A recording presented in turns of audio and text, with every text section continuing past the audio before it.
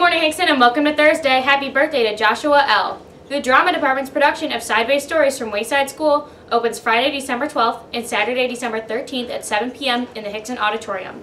Tickets will be sold at the door for $4. Thank you and hope to see you at the theater. For more information, see Mr. Connors.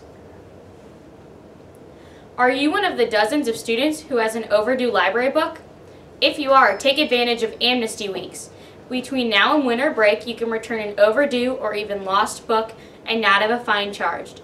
Try to find those books now. Third quarter bus passes will be due the second day we return from winter break, January 6, 2015. Yesterday, students on Harmony, Innovation, and Journey participated in the Hour of Code. Those of you who created interesting or just plain fun code, send your code to hixsonhub at wgcloud.org with hashtag coded in the subject line. A special thanks to all those who made it happen.